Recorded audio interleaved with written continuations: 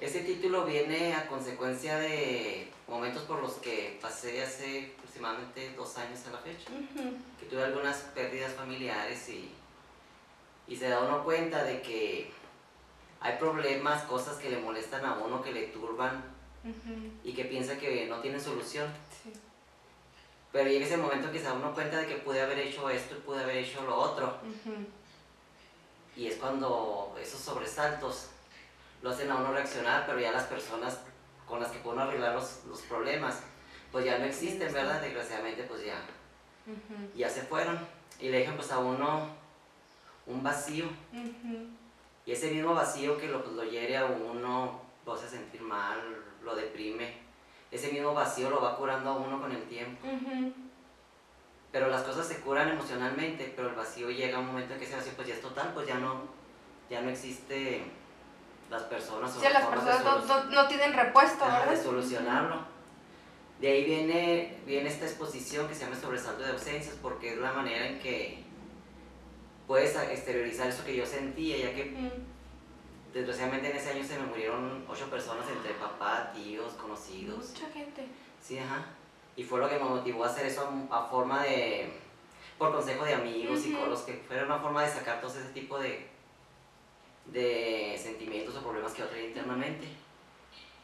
Y fue cuando la exposición, que se basa en que el miedo a ser juzgado, el miedo a no haber solucionado las cosas en su momento, el miedo al, al, vacío que se tuvo, al vacío que se va a tener de aquí en adelante, y aprovechando pues eso, se, hicieron la, se hizo la obra que se compone de aproximadamente pues, 30 cuadros. 30 cuadros. En diferentes medidas, en diferentes técnicas como bolígrafo, eh, acrílico, mixta, óleo, acuarela. Y son las obras que componen. Y no es nada más retrato, ¿verdad? No, no, solo, no nomás es retrato o figura humana. Es también, hay algunos paisajes que es donde se nota más lo que es el vacío, ya que en algunos de ellos, por ejemplo, hay paisajes que tienen una silla. Una de las personas que fallecieron, pues es mi padre.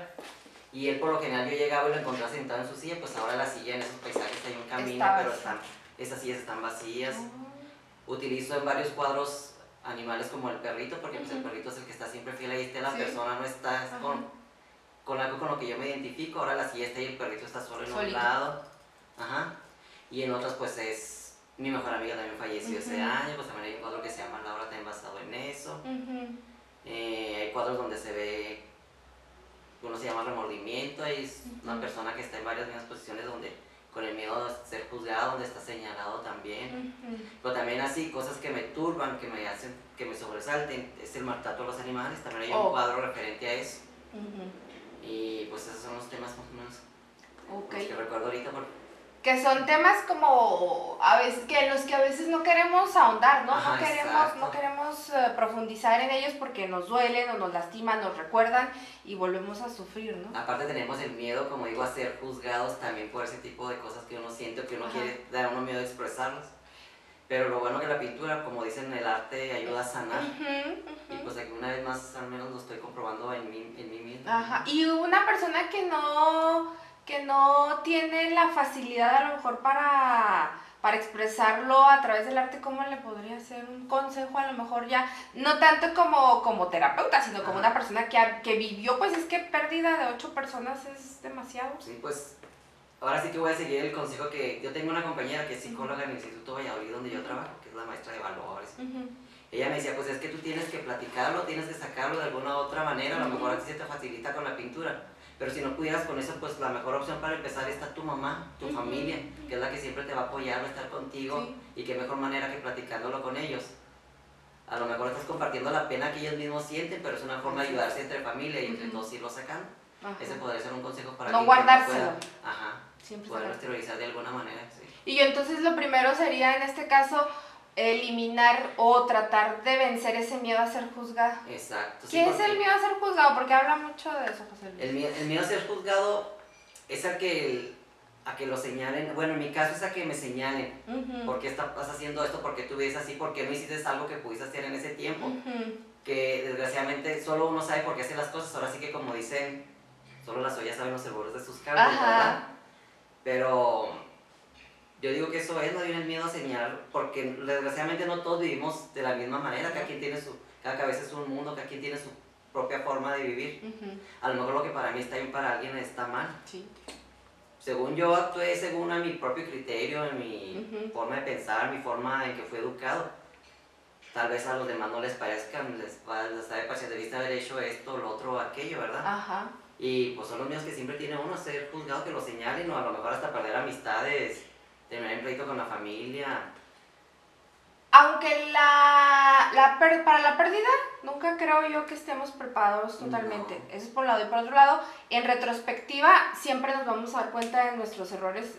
Entonces, es más fácil decir, ah, no, es que debía haber hecho esto. Pues sí, pero en ese momento eh, el estar eh, perturbado, dolido, adolorido, este, con miedo, no nos va a dejar ver claramente lo que pudimos haber hecho en un momento dado, ¿no? Sí, no sabemos de qué momento pudimos haber reaccionado y hasta después que lo pensamos, pero desgraciadamente, pues en este caso, pues ya, así como dice uno de los cuadros que es vacío total, pues ya no hay nada que hacer. Ya no. Ya no vamos a esperar que ese mismo vacío con el tiempo pues se vaya nos vaya ayudando a sanar las cosas. Así es. Sí, porque las personas pues ahí ya... A lo mejor las personas que creamos algún tipo de cosas, ya no, no más arte, a lo mejor cerámica, algún tipo de manualidad, pues terapia para sacar, para interiorizar todo eso que sentimos, ¿verdad?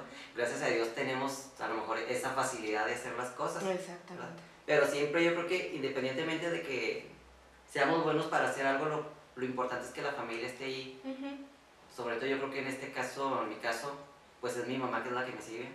Mi mamá pues es la que me va a dar el mejor consejo, siempre va a estar al pendiente. Aún sobre el sufrimiento que pueda tener, yo sé que primero van a estar nosotros sus hijos. Así es. Y eh, de todos estos cuadros, que son bastantes, eh, ¿cuál podría decirse que fue el más significativo o el que usted dice, ay, este fue el que más me gustó? El que más, el que más me gustó a mí es el que da precisamente el título a la exposición de sobresaltos y ausencias.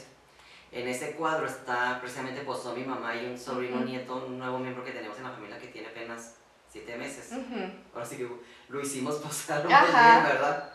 Porque ahí se está reflejando mucho el miedo que tiene uno a estar solos. De hecho, mi mamá carga ese bebé, pero está pensando mucho en mi hermana. De hecho, hay ah. fotos tiradas en el suelo de recuerdos que ella tiene. Oh pero la, la, pintura también tiene como vidrios rotos, porque pues son los, los huecos, los sufrimientos que tiene en la vida que ya no se pueden sanar.